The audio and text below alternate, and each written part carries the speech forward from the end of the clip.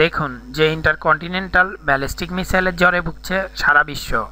বর্তমান সময়ে সাধারণ কোনো দেশের সামরিক ক্ষেত্রে পরাশক্তি হওয়ার জন্য অন্যতম শর্ত হচ্ছে ইন্টারকন্টিনেন্টাল ব্যালিস্টিক মিসাইল থাকা।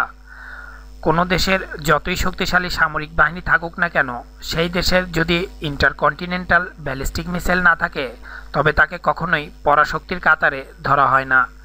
সেই হিসেবে বিংশ শতাব্দীর অন্যতম সামরিক শক্তিধর দেশ জাপানকে বর্তমানে কোনোভাবেই পরাশক্তির কাতারে ফেলা যায় না। কারণ তাদের নিউক্লিয়ার ওয়ারহেড কিংবা আইসিবিএম কোনোটাই নেই। কিন্তু মজার বিষয় হচ্ছে, জাপানের এ দুটি না থাকলেও তারা কিন্তু এসব থাকা কোনো দেশের থেকেই পিছিয়ে নেই। জাপানের হাতে আইসিবিএম কিংবা নিউক্লিয়ার ওয়ারহেড তৈরির জন্য প্রয়োজনীয় উপকরণ বহু আগে থেকেই মজুদ রয়েছে। আর মহাশূন্যে প্রেরণের জন্য রকেট তৈরি করে তারা বাস্তব অভিজ্ঞতাও অর্জন করেছে। এখন অনেকেই বলতে পারেন উপগ্রহ প্রেরণের রকেট আর আইসিবিএমে পার্থক্য আছে? কথাটি সত্য হলেও জেনে রাখা ভালো, পৃথিবীর প্রথম মহাকাশ গমনকারী উপগ্রহ ও মানুষ বহনকারী যানগুলো কিন্তু ব্যালিস্টিক মিসাইলই ছিল।